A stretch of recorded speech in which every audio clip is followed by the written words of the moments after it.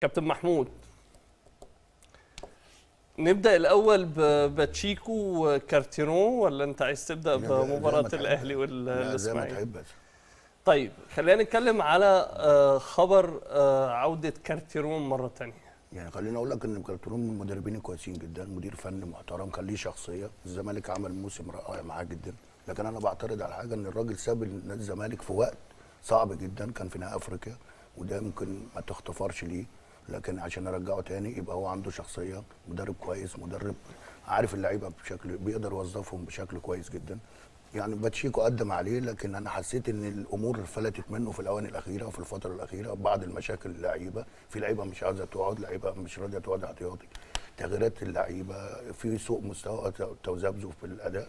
حسيت إن هو مش مركز لكن كالت- كالترون من المدربين الكويسين مدربين الف- المديرين الفنيين لل- للزمالك يقدر يعمل شكل.